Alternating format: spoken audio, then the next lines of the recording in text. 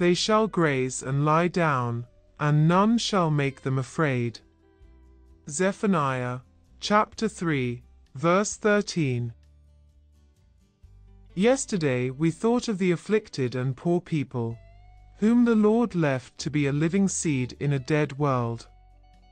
The prophet says of them that they shall not work iniquity nor speak lies. That while they had neither rank nor riches to guard them, they were also quite unable to use those weapons in which the wicked place so much reliance.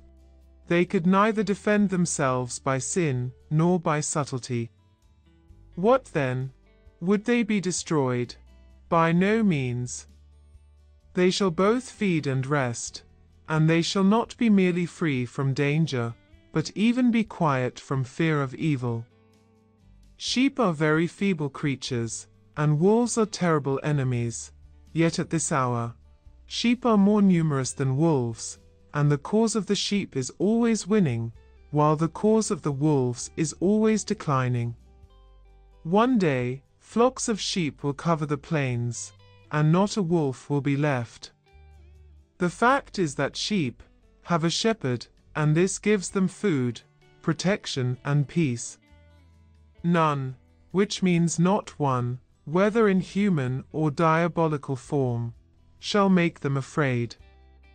Who shall terrify the Lord's sheep when he is near?